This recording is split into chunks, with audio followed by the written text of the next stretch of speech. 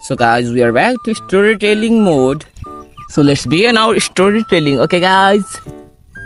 So guys, मैं story सुना रहा था मैं कहाँ था मैं रास्ते में था ना आज अपनी बाइक लेकर आए हैं छोटी बड़ी उड़न खटोला बोलते हैं इसको तो सीखी है गुरु गुरु ड्रिफ्ट मारती है देखो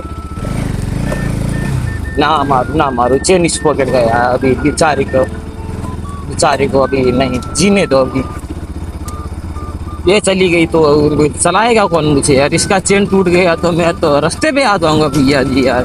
फिर से गुड़ा के ले जाना पड़ता है कभी कभी टाइम टाइम में। कभी पेट्रोल खत्म हो जाता है रास्ता में तो फिर ले, जाओ भैया इसको गुड़ा कर भाई डेढ़ कुंटल की गाड़ी है। ये अपने से चला नहीं जाता और इसको उड़ाना पड़ता है। हाँ मैं स्टोरी में स्टोरी में मैं बाहर चला गया था। मैं वो क्या सुना रहा था कि वो का मोबाइल चुरा लिया भैया, एक रास्ते में। लोग तीनों तो घूम रहे थे। साला नेपाली गूँगा था। वो बोल नहीं पाया। और इंडियन, वो लंगड़ा था। मैं उनसे भाग नहीं पाता था। और तीसरा वो अंधा था।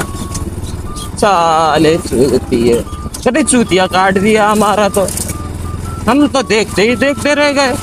अब करे तो क्या करें भैया जी, क्या करें यार इसी कंडीशन में। ये सुनाया हुआ स्टोरी है ना भाई? सॉरी सॉरी आज नया सुनाता हूँ, आज नया सुनाता हूँ, रोको रोको।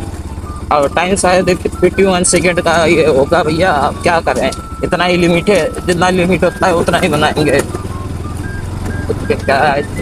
Thank you